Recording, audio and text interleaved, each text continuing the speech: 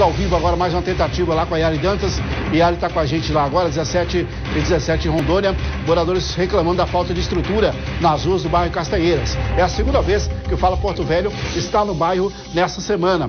Yari, boa tarde.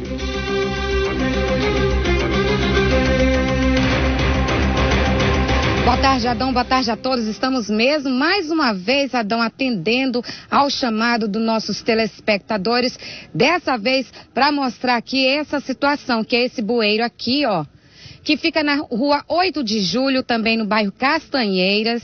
População reclama do mau cheiro quando é em época de inverno. A denúncia aqui que há cobras aqui. O que que acontece? Eu vou falar com a dona Rocilene França de Costa, ela que é moradora aqui, ela morava no Acre, veio para cá tá com a casa ali, construindo uma casa nas proximidades desse bueiro. Dona Rocilena, tem problema? Qual, explica pra gente qual é a situação desse bueiro aqui. É horrível. É um mau cheiro, é carapanã demais. Os mosquitos tomam conta da gente. Não pode nem estar tá fora, é todo tempo se, se batendo. E aí toco fogo aí na, na, nas proximidades aí. Eu que tenho problema de, de alergia, eu sou alérgica, aí pronto. Quando é de noite, passo mal, e tem que ir para medicação Sem contar o mau cheiro. Sem contar o mau cheiro. A senhora estava me falando que até cobra aqui até na, na sua casa. Tem até uma cobra. Mais ou menos aqui assim. Eu tava, terminei de limpar e me sentei no sofá e quando eu olho, me deparei com a cobra no, no tapete.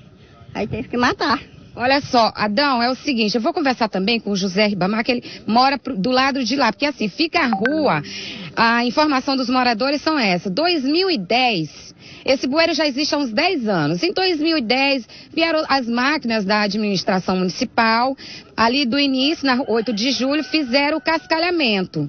Só que passa que chegou no bueiro aqui ficou. Do lado de lá, fizeram outro cascalhinho também, mas não consertaram o bueiro, né? De, as máquinas deixaram aí o bueiro e a população vive aí há uns 10 anos já com essa situação. Não é isso, José Ribamar? É isso aí, tá com 10 anos que tá esses problemas. E a gente tentando para ver se resolve, porque no inverno é piores ainda que vocês estão vendo hoje.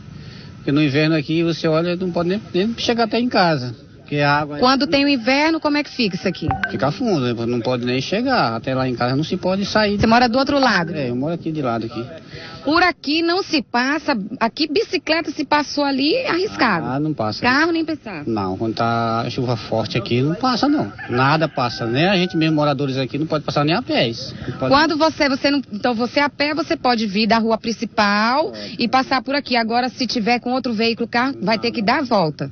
O carro do vizinho aí afundou-se ali dentro da água que era tão fundo que não teve nem como a gente. Rápido que enche, é bem rápido, enche rápido isso aqui. Que não dá tempo de nada. Que você pensa que não, a água já chegou.